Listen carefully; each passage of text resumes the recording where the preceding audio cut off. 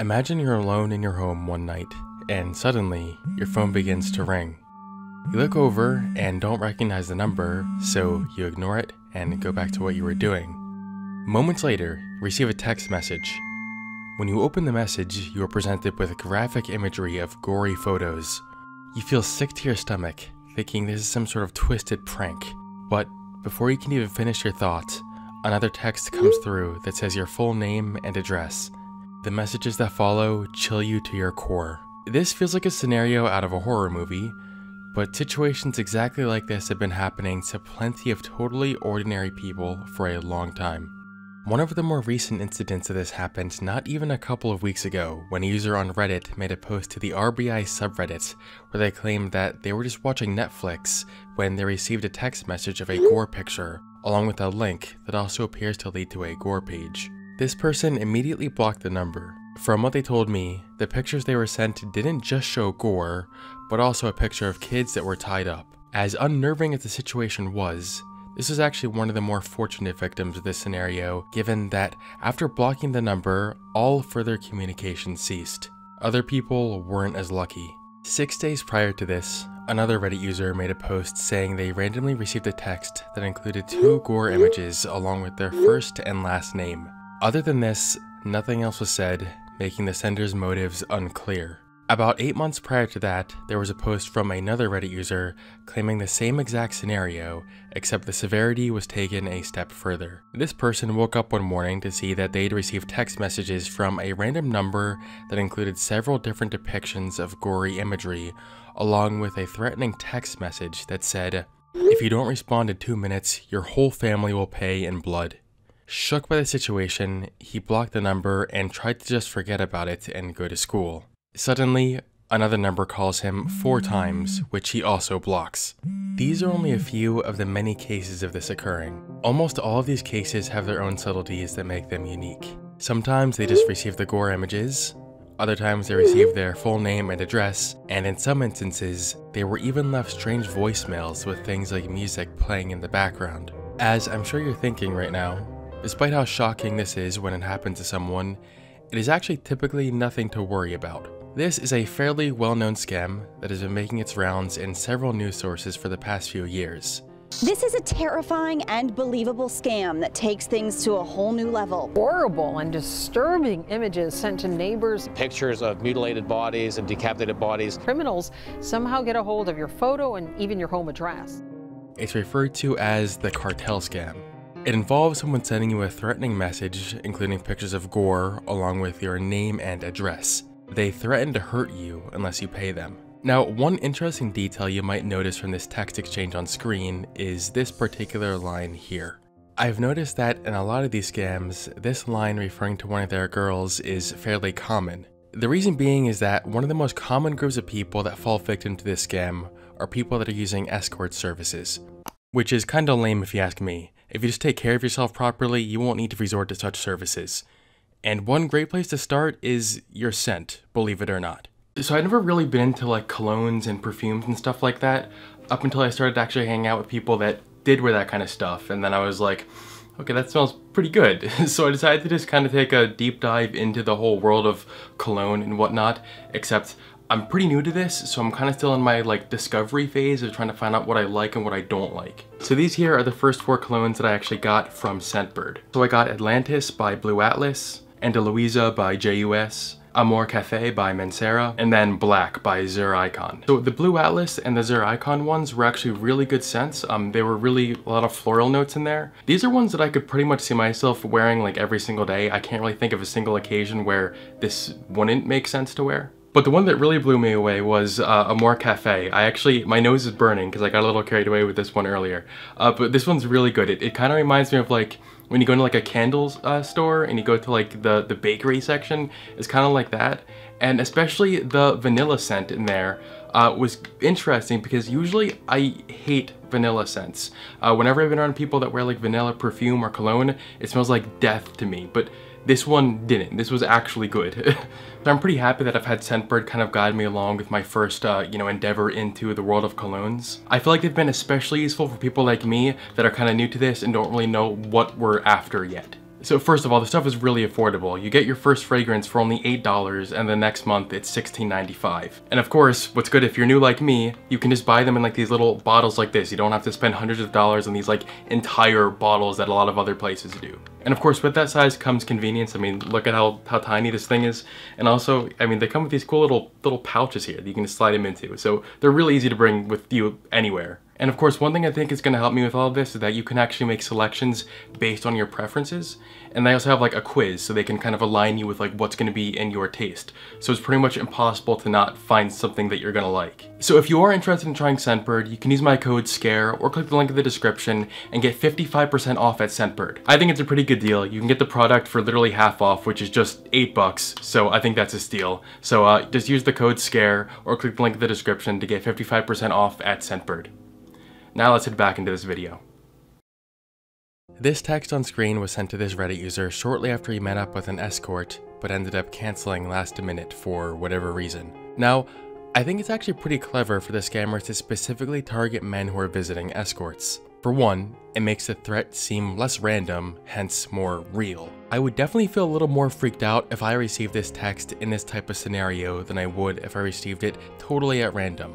In addition, it probably makes the person receiving the threat less likely to actually tell anyone about it out of the embarrassment of seeking out escort services, or possibly it could be a scenario of someone cheating on their wife, in which case they definitely wouldn't want anyone finding out. And believe it or not, it actually works. I've seen several instances of someone actually paying up after receiving these threats, one of which ended up paying thousands of dollars before finally deciding that enough was enough. It's pretty crazy what fear can do to someone. What I do find a little bit odd about this though is that not all of the texts that people received like this were accompanied by any sort of threats or requests for money. Maybe these people were waiting for a response first before they made the requests, but I wouldn't at all be surprised if there were just some people out there who weren't trying to scam at all and they genuinely just got their kicks from sending stuff like this to random people. There are definitely people like that out there. But believe it or not, there are actually some even more bizarre cases of strange phone incidents that I think are even more eerie than this.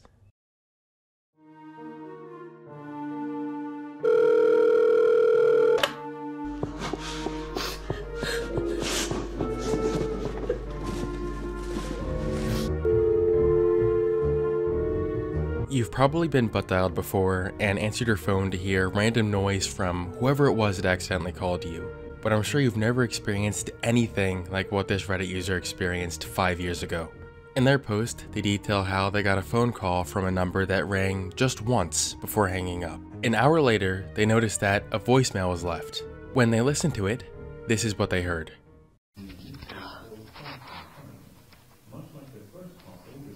Skipped message.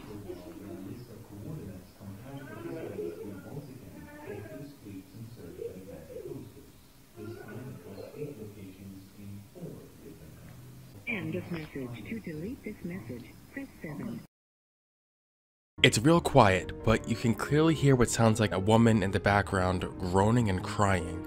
After listening to the message, they called the number back, only to be greeted by a sales representative. When they explained the voicemail they just received, the sales rep said they too received a similar call. Unfortunately, not much could be done, and they were never really truly able to get to the bottom of this.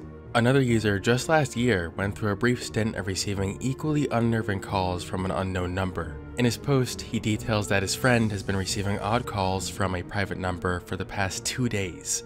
The first call lasted only 30 seconds, and it was just the sound of rustling from someone moving their phone around.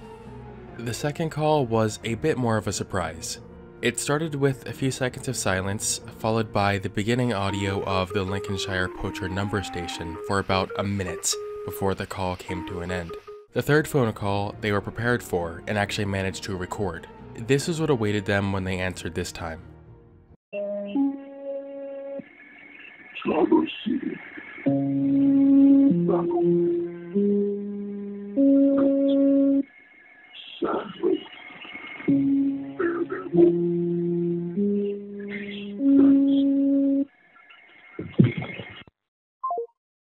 The calls seemed to stop after this, and once again, they never got a clear answer.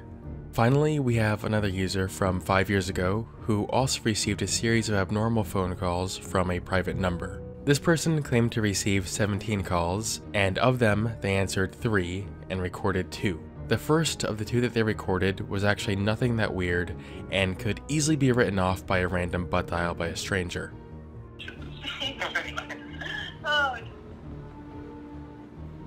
The second one, however, was much stranger.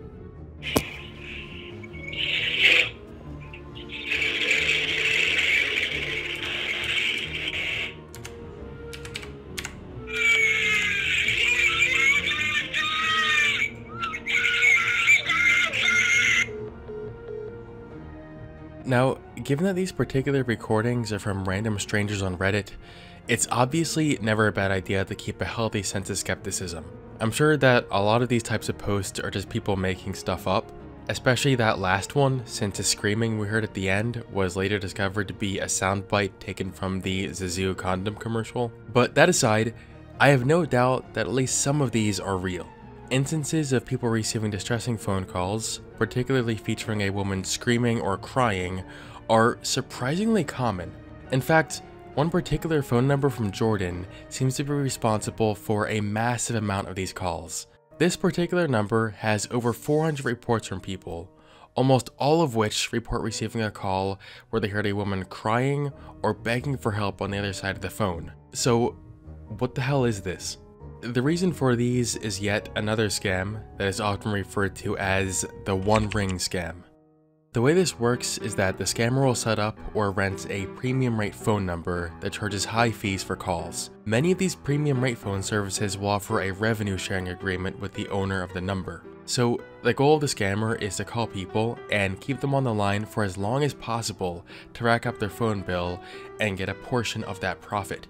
This could include tactics like leaving strange voice messages to get the victim to call them back, or to call someone and play sounds of a distressed woman to keep the person on the line to help them. It's a pretty messed up tactic, but it's been happening for a while. In fact, in 2017, the podcast Reply All released an episode talking about this exact scam specifically. As ominous as these occurrences can be, the true explanations are something a little less than extraordinary. So next time you receive a call from an unknown number, at best it could just be a prank call, and at worst it could be a scammer threatening to kidnap and kill your entire family. Either way, it's probably best to just not pick up. Thank you for watching, and I will see you on the flip side. And once again, big thank you to Scentbird for sponsoring this video. Be sure to check them out and use my code SCARE to get 55% off.